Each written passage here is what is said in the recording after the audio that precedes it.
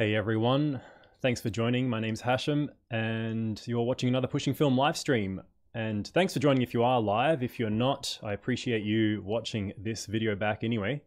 And I recently came back to Melbourne from a little trip in Perth. If you followed the channel, you know that I recently went interstate for a little while. Things have been really busy with moving house, and I had this trip back to my hometown of Perth. And I recently came back into what is now another Melbourne lockdown. So I managed to skip a little bit of it because I was already interstate in Perth. And uh, it was great to have that freedom over there. And unfortunate knowing that Melbourne was going into another lockdown and that uh, Sarah and I would be coming back into that.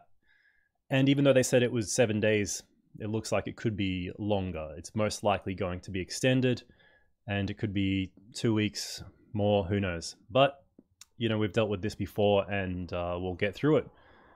So, actually, is anyone else watching from Melbourne? So, you know, are you in Melbourne or are you in lockdown somewhere else? You know, uh, put your hand up or leave a comment or like the video, uh, and I'll I'll know. Um, but I'm just gonna check the the chat. I've got Stephen Pam. What's up, Hashem? It's always exciting to get mail. Yes, so today's a bit of a mail day video. It's a bit of a unboxing as well. So I got, uh, as you can see from the thumbnail, a couple of deliveries. And today's live stream is going to be going over uh, me opening uh, a few packages that I received after getting back home. So I came back home to find a few packages, one of which is a Yashicaflex TLR. That if you watch the channel, you know that I ordered this camera a long time ago. It was back in July or August last year, if I'm guessing correctly. And I talked about it a little bit in a live stream and mentioned that because of the lockdown and the international restriction or embargo with shipping, uh, it came from Japan, but I couldn't have it shipped because Japan stopped sending mail due to the uh, state of emergency and Japan Post being the selected postage method method wasn't sending it to Australia. It was a whole mess. It was a whole big thing, but it basically meant that I was waiting a while to see if they would lift that restriction with Japan Post. Alternatively, I could have paid heaps more for uh, FedEx or something, which wouldn't have been worth it because the camera cost me about $90. So I decided to wait and wait and wait, and then there was still no lifting of the restriction. So I eventually said to the seller, let's just go with surface mail because we initially were afraid that that would take up to three months. And, uh, and it did, but I came back and today I received that delivery. So yeah, thanks again for joining everyone. Let me know how you're doing. Um, I hope anyone in Melbourne is coping well with lockdown uh, or elsewhere for that matter. Stevens in Melbourne, cool. Melissa Finley in the comments. Hope you're having an okay lockdown. Yeah, so it's my first day of lockdown so far, and uh, I am not anticipating that they will end it soon, unfortunately, but we'll see. So yeah, let me know how, how you're all doing, what you've been up to. Uh, I'm glad to be back in Melbourne in a sense, and to get back on top of some uh, things like making these videos. But let's get into the first thing that I wanted to talk about. So um, before I do that, you can see I've got a couple of the things here. That's the, the package I mentioned that I'm going to unbox. But uh, if you're here mainly for that, you might want to wait a little bit if you're happy to stick around with this live stream. If you're watching this post stream, you can skip ahead towards the end of the video as when I'll be unboxing this Yashicaflex TLR. But before that, I just wanted to share a few things and update a little bit about um, what's been going on. And anyone who watches the live stream regularly knows that I've been uh, reviewing this camera. I've been playing with this Fuji X Pro 3 and especially shooting it side by side with my Leica MA or other film cameras to compare it to the 35mm film shooting experience. Now, this X Pro was provided to me kindly by Fujifilm Australia, and uh, they've been nothing but extremely helpful and um, supportive of the idea and not only did they provide me with the camera to borrow for a few weeks, um, but they gave me the, the two lenses you see here being an 18mm and a 23mm f2, which was what I selected to try because they compare well with the focal lengths I have on the Leica. And also they let me borrow this Fujifilm uh, M mount adapter so I can use my Leica lenses because what I want to do is shoot this like I would my film camera, especially when it came to street whereby I will use, uh, you know, manual focus using zone focusing uh, with my Leica lenses and shoot it uh, with Sunny 16 even using the optical viewfinder to give me as close of an experience to shooting the Leica on the streets, which I have done a little bit of so far. So that's been going well. I did take the camera with me to Perth, and I'm glad I did because I got a lot more time with it over there that now that I've come back into lockdown, I may not get. Obviously, I can't go out shooting street anymore, but I did get some time with this camera on the streets here in Melbourne before leaving and in Perth uh, during a rally or protest that I was shooting over there. So, just again in the comments, lockdown, sigh, hope we're all well considering. Yep, agreed. Not looking good for Thursday for the announcement. So, Thursday is when the seven days was initially going to end, but yeah, judging by the amount of cases, that probably won't happen, unfortunately, as sad as that is. Now, let's quickly look. I want to give you a bit of a preview of some of the X Pro images I've gotten. So just heading into this view, I'll get Lightroom happening. Okay. Not sure if Lightroom's showing up here. Let me try and fix that for you guys, sorry. Okay, so you should be seeing Lightroom now. I've just got a few selections here from uh, images I've made on the X Pro so far and to run you through what I'm looking to do for this future video. And I'm open to your suggestions as well. This first image is just an indoor shot taken on the X Pro with a manual focus lens. And I also shot the same image side by side with the Leica on Fuji Superia 400. The film profile for the digital shot was the uh, Fuji Classic Neg, I believe, which is meant to be like Fuji Superia 400. So what I want to do in this video is sort of compare some of these uh, film emu emulations or simulations, whatever you want to call them, to the actual film that they closely resemble or attempt to emulate. So when I get a chance to send my film off, I will uh, compare it and I'll show it in the video side by side. So not only am I testing the camera and the experience, but I'm looking at some of the film simulations as well. And this one uh, I'm already quite really um, impressed with. All these images, mind you, are straight out of camera JPEG. So I chose to shoot the Fuji in that style, straight out of camera JPEG, so that you would get the purest sort of result without any uh, editing or alteration to what you would expect if you were to shoot an X Pro 3 and let's say you're a film shooter and you want to sort of know what it looks like compared to the actual film uh, that you might shoot. So um, yeah, that's what I thought would work well. Let me know if you think any differently but that's how we're handling that so far. And again, another shot on the street here. This one, I think, was the, the normal profile, or Provia, I think it's called. Um, but yeah, I'll check through all those later on when I finally do that video. Uh, another shot on the street here. So this one is from Perth during that rally. And um, during this rally, I was actually shooting the Leica and the X Pro. I had um, both around my neck and I was alternating between the, the film and the digital. And I shot some Tri-X and some uh, more Fuji Superia 400, some Portra 400, um, maybe even 400H. So I have a lot of film to compare to a lot of the profiles. And I tried to switch between different uh, digital profiles so that when I finally make this video, I have a lot of material to compare the, the both with. But already I'm quite impressed. Like these are straight out of camera JPEGs. This was, I believe, the the 400H style emulation, which is called ProNeg or ProNeg Plus. This was the higher contrast version of that. And uh, yeah, they um, someone in the comments, Steven, saying they look quite filmic here in the stream at least, which I, I agree with. They do have that look already, that bit of extra punch, but good skin tones of 400H. And um, same with this shot here.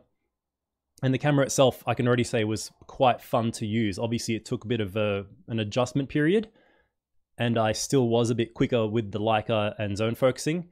But um, yeah, I'm impressed with the output of the X Pro 3 so far. Just um, again in Perth at a friend's soccer match or football.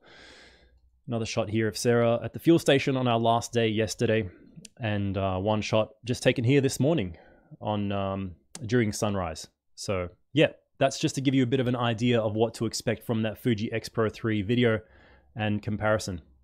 So let me know what you think if you have any suggestions on how to approach that. All right, let's just switch back to this view. So the next thing I wanted to talk about in relation to that is uh, because when I came back to Melbourne, um, I, I found half of this delivery. I hadn't gotten the 23mm lens yet, which uh, came in the mail. I picked it up when I got back. And uh, what Fujifilm had also done, which was really uh, kind of them, and I was not actually expecting it, they also threw in one of the deliveries some of the new Fuji Acros 2. So they sent me uh, two 120 rolls and four 35mm rolls. It was a complete uh, surprise, again, from the representative that I was speaking with at Fujifilm. And um, I emailed him and he said, yep, we uh, threw those in in case you want to do any content or comparisons. And I will therefore include a comparison to the Acros 2 profile on the X Pro um, with the actual Acros film because I have run out of 35mm Acros original. So this came in perfect timing for that. And uh, yeah, thanks heaps to Fujifilm. And I'll maybe even do a separate video on Acros 2. Let, me know what you think. If you think I should do a separate video reviewing Acros 2 or comparing it to the digital emulation or or do both, include it in the uh, X Pro 3 video and do a separate video comparing the emulation. So because they sent me all these rolls, I have the capacity there to do something more with that, and um, that would be quite fun. All right, the next thing going through the mail is um, I've got a print here, so little package. Um, this is for the print exchange that I did with the other YouTube uh, producers that you might have seen in a previous video where I talked about printing a 120 film scan, how I uh, made a print to send to Nico from Nico's photography show, and this was the one I received from uh, Borut from um, Top Shit Photography. So I'm excited to open that, but I'm going to do that in a separate video, um, probably in the next week or two, because that is meant to be early June. So I'm going to do a, a video where I open that print, show it, and talk a little bit about that exchange. Um, another package is something from Essential Film Holder. This is some updated uh, and new stuff, but I can't actually share what's in that yet. So um, in case you're interested in developments in the film holder sort of stuff, uh, stay subscribed or come back to the channel so you can see what I've got, uh, you know, in store for that. By the way, if anyone watched that Essential Film Holder versus Valoi comparison, I got a lot of good feedback and I'm thankful for all that. But I also realized in hindsight after um, Harold from Valoi reached out to me that there was a little bit of a mistake I made in that um, they don't actually recommend scanning emulsion side up as much as I generally uh, prefer to do that. I think the design of the mask was, and he mentioned that it was in the manual, although I admit I didn't completely read the manual and I did go back and check once he updated me, but I actually couldn't see anything about it. But generally speaking, he doesn't recommend scanning with the emulsion side up. So I probably should have mentioned that in the video, even though that is still how I prefer to scan.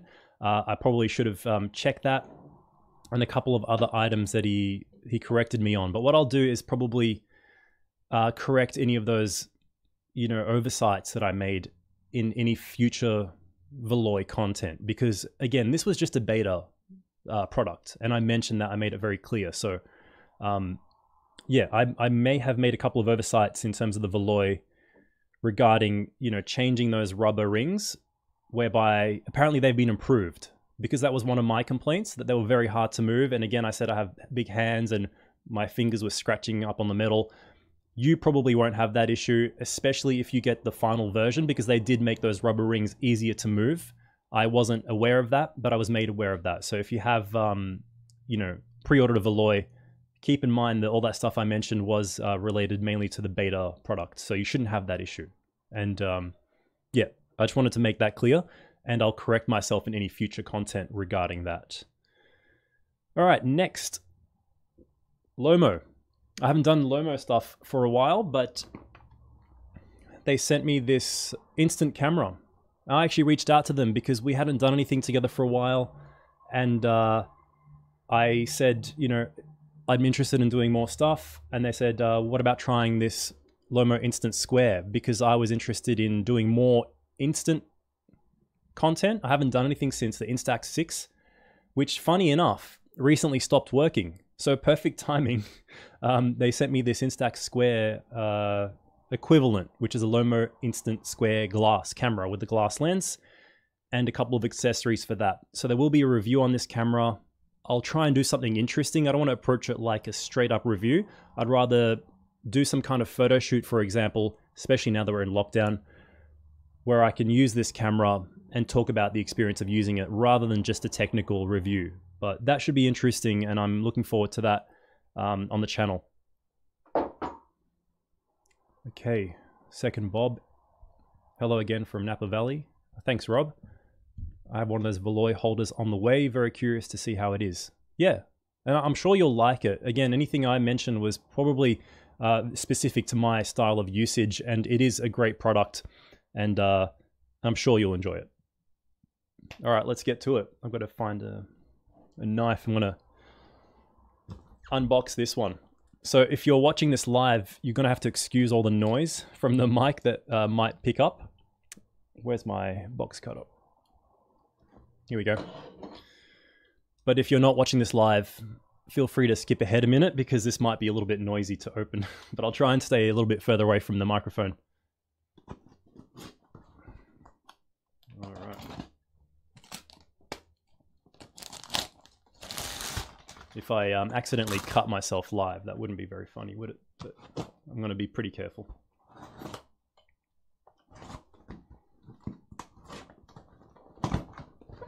All right. So in typical uh, fashion, when you get a package from Japan, you'll often find scrunched up Japanese newspapers, which is always you know fun to see. Some of the the wacky headlines and ads that they have in the newspapers, but I won't bother with that for now. So yeah, as mentioned, um, I ordered this camera way back in I think August 2020 or even earlier. And because of all the delays with shipping and the restrictions with shipping from Japan to Australia using Japan Post, I had this on hold for the longest time. Finally decided to just ship it by surface mail, which is, you know, by sea essentially. And that takes up to three months. And it did take about two and a half months. Finally arrived this morning, and uh, we're going to unbox it. And the story is sorry about this noise again that I uh, ordered this on eBay when I was uh, making my video about cheap medium format options and uh, thought to just browse and see what I could find. I spotted this in pretty rough condition for about 90 Australian dollars, but it was meant to be working, uh, except for the low speeds, apparently, the low shutter speeds, which generally fix themselves when you kind of use the shutter a little bit and exercise it. And I might try and see if I can give it a basic surface uh, service. And yeah, I've never owned a TLR before, so I thought this would be a good one to start with. It's a Yashicaflex, which I believe outside of Japan is called the Yashica D or something like that. But let's just get this bubble wrap off.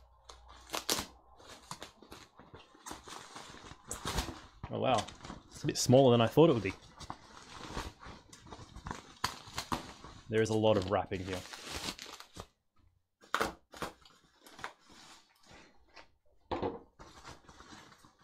So we're almost there.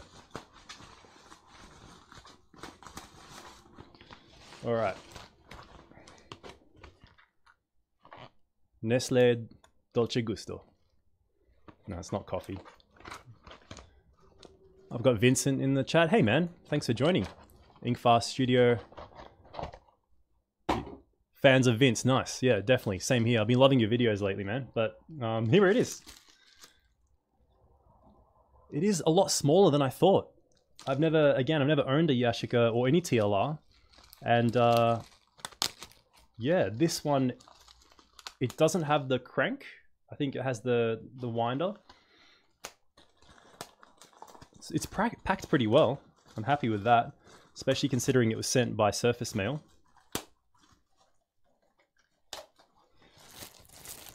Here we go.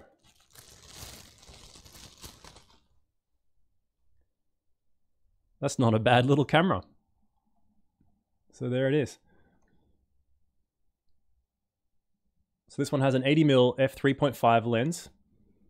It's uh, the Yashikor lens, which I think makes it the earlier version. Uh, as mentioned, it's pretty rough condition. So there's a bit of leatherette peeling here, which I was aware of, but I've looked into getting replacement leatherette kits on Etsy or something like that. And um, yeah, I might end up replacing that. The back is bare. I'm not sure if there was meant to be leatherette there. I don't think so. And it's cracking a little bit again on that side.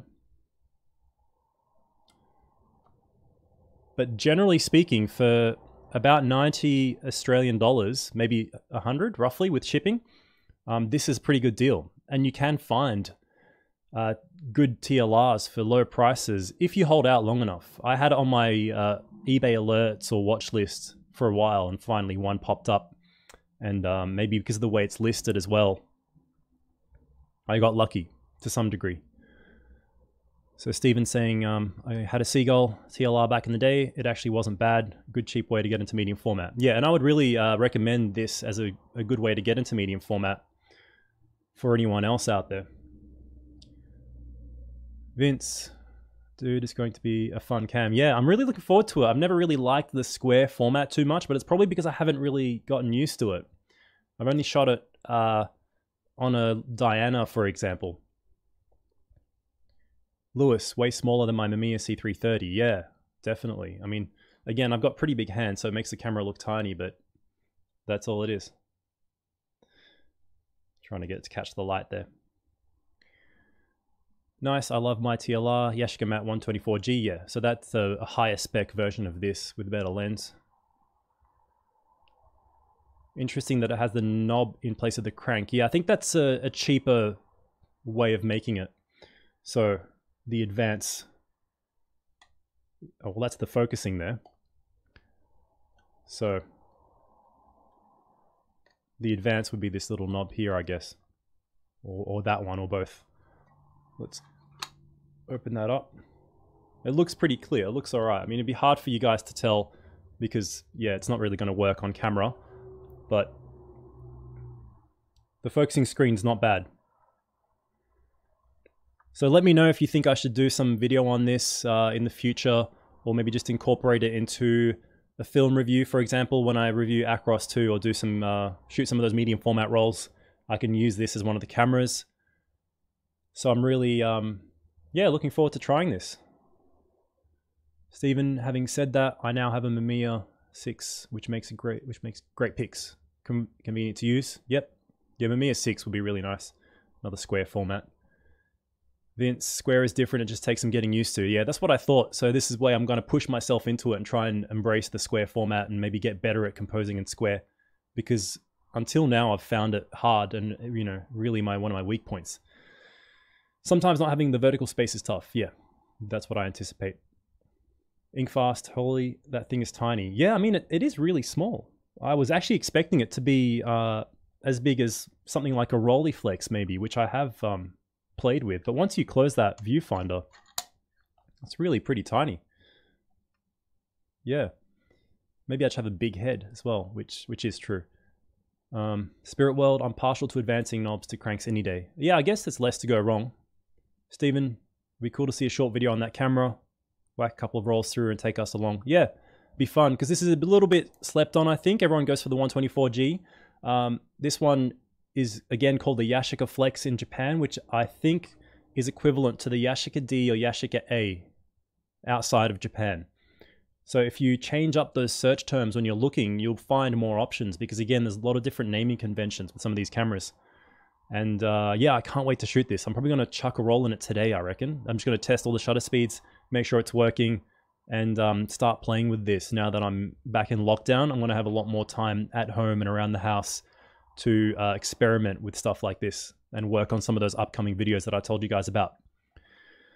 So I think that's pretty much it that I had to share today, guys. Let me know anything else that you think uh, would be good on the channel, any other suggestions, any criticisms or thoughts that you have, uh, what you've been up to.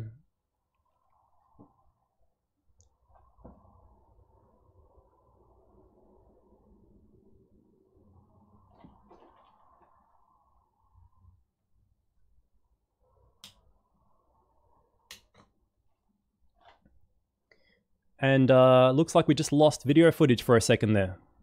But I think it's coming back in a moment. Sorry, guys. You can probably still hear me. But I believe the the video dropped out a little bit. All right, so I'm back. Uh, but yeah, I was going to end the video soon there anyway. Um, I don't know what happened there. I think it was my HDMI connection, but I just turned the camera off and on again, and I'm back. So just checking some last comments. I always wanted one of those for street photos. Can be a very stealthy cam since you're not looking at the subject. That would be cool. So anyone who's a fan of Vivian Maier type street photography, for example, knows that she was the master of shooting on the street with that TLR, which mind you, even though you have the stealth advantage, it wouldn't be easy. Like for me, I've tried playing with TLRs before, and it's a lot slower to compose and get everything straight and to meter and to take the shot compared to something like a 35 mm camera. So um, I imagine that you are that would be amazing. It'd be really cool to get good at shooting with one of these on the street, or not necessarily get good, but to to be effective with one of those on the street, and to enjoy it and not just struggle with the you know reversed perspective. But yeah, I'll try that eventually. If the camera works well and I uh, enjoy using it, I will try and use it in uh, situations like street photography. That'll be pretty fun. Just making sure I haven't missed anything. All right, guys, uh, that was pretty much it. So look forward to some of that content on the channel. I've got the X Pro 3 film shooter's perspective that I'm working on.